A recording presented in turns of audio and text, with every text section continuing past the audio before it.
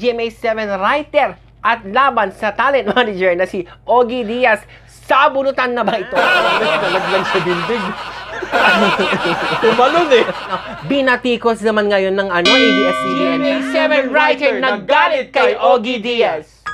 Oh my God, ito na nga pinangalanan na talaga kung sino nga ba itong talent manager na binatikos ng GMA7 writer. Oh, ayan na. Grabe. Ayan na, nagsimula na ang gera ng Channel 7 at Channel 2 na naman. Oo ano? nga, oo. Oo, eh, paano ba naman eh, kinutsa-kutsa daw nitong ah, talent manager ang mga Mm. shows ng Channel 7. Kaya naman di makapagpigil si ah, Dr. Lera. Doktor, si Miss Dr. Lera. Yes, oo. Alam mo, yung point naman dyan is parang, Mabigat yung mga binitawan bakit, niya. oo, wag daw makialam ng mga posts, okay? Mhm. Kasi nga, freedom of expression daw Correct, yun. oo. Pero alam mo, kung uh, mambabash ka din lang naman ng ibang shows, di ba, mag-ingat ka na rin lang. Kasi nga kayo, public figure kayo eh, di ba? Parang, hindi nyo na lang uh, nirespeto ang kabilang estasyon. Estasyon. Yes. Mm. Actually, yun nga, feeling ko talaga matagal na tong hidwaan ng dalawa, no? Kaya kung makikita mo yung napakahabang post ni Dr. Lera, um, Mm. talagang ano eh, ma- ma- mabibigat yung mga binitawan niyang salita. Oo, may sinabi siya. At least daw sila malinis. Wala daw ano, utang na ganito sa Oo. gobyerno na nagbabayad daw sila ng buwis, mga ganyan-ganyan. Oo, so- Parang,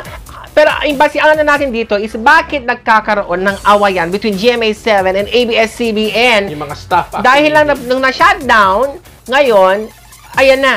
Di ba? Ah, ang Lumalabas na. Ang daming Yes. kumutya kasi sa shows ng GMA7. Yes. Well, oo. uh, to be honest naman, dapat isa, yung iba naman talagang constructive criticism para sa Channel 7. Ang Mm. dami kasing lumabas ng mga shows na talagang next to impossible yung mga nangyayari. Like for example, hindi makatotohanan yung mga pating tubo dito sa Ilong sa ospital.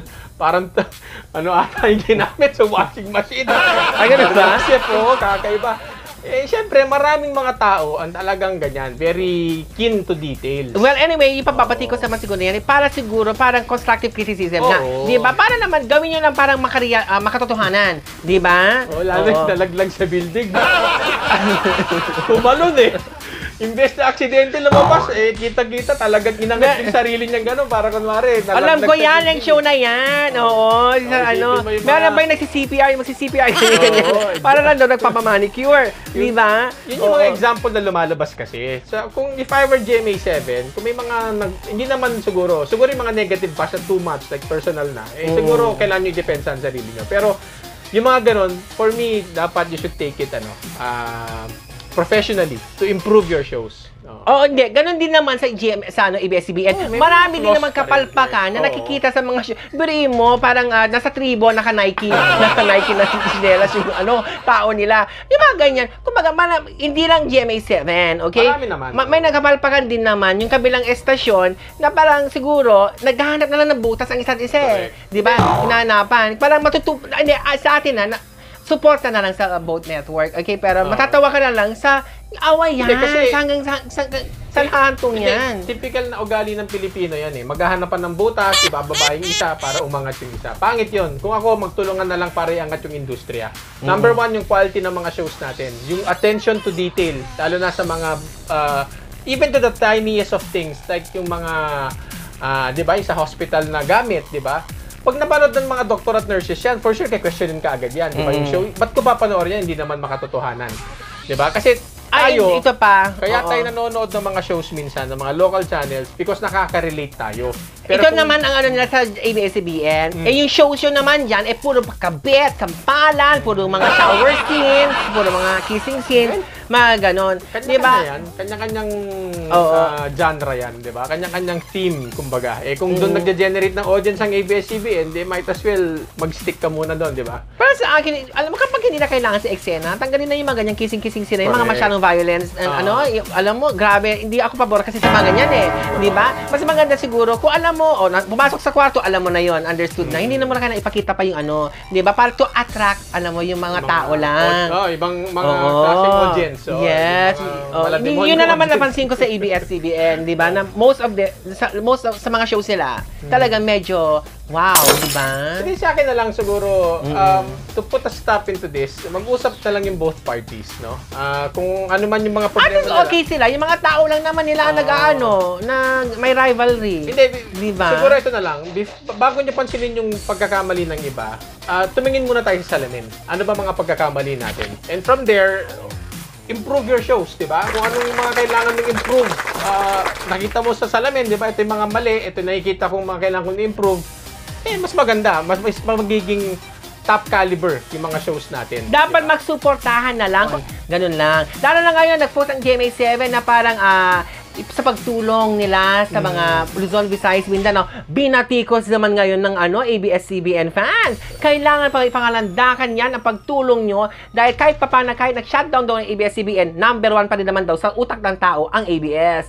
Mag, hindi naman siguro masama na may lagay ng GMA7 Hindi ang ko- kanilang tulong Ah, sa buong Pilipinas. hindi, siguro, di ba? siyempre, as a public, ano rin, ah, public, ano, ang cha- Channel 7, di ba? Ah, so, dapat talaga ipakita rin nila sa social media yon na may ginagawa sila about the pandemic na tumutulong sila. Eh, normal yon kasi usually, nag-generate naman ng tulong ang mga, ang mga network through donations. So, dapat lang na i-post mo kung saan napunta yung pera para walang question, walang corruption sa loob. Yun ang transpa- for transparency yes. purposes. Oo.